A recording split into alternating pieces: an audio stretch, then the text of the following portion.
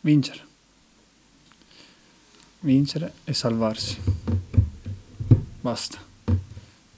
Non c'è, non c'è altro, altro a cui pensare ecco, in questo momento.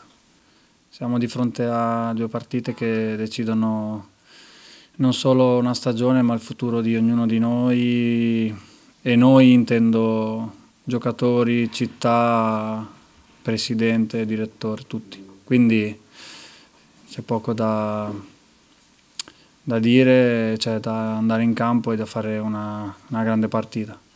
Penso che il Teramo non debba assolutamente pensare ai due risultati ma a chiudere il prima possibile la pratica e cercando di di dimostrare sul campo il nostro valore. Ecco. Mi auguro che il Teramo sia quello delle ultime, delle ultime giornate, al di là poi si voglia dire risultati magari potevano essere meglio, però se andiamo a guardare abbiamo sempre avuto le nostre occasioni per vincere le partite e abbiamo subito meno, quindi eh, sarebbe ottimo fare un altro un tipo di prestazione domenica come abbiamo fatto le ultime e forse anche qualcosa di più perché sicuramente play-out è un campionato a parte. Ecco.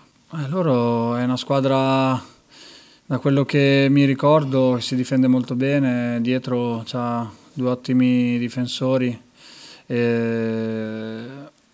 una squadra compatta, sfrutta le ripartenze, ha gli esterni forti e comunque una squadra che in campionato ci ha portato via quattro punti, cioè, quindi eh, è una squadra da, da, non sottovalutare ma allo stesso tempo da non aver paura. Ecco.